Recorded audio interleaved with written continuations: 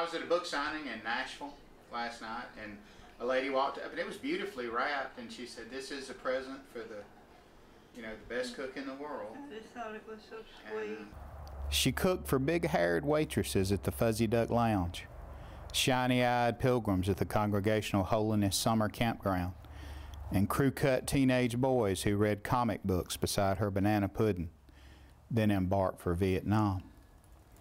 She cooked most of all to make it taste good, to make every chip melamine plate a poor man's banquet, because how do you serve dull food to a people such as this? See, I love to cook. I mean, I've always, when I was 11 or 12 year old, I liked to cook. And uh, it's just something, I, but I like to cook food that tastes good. And I, if I cook something and it's not right, I won't let nobody eat.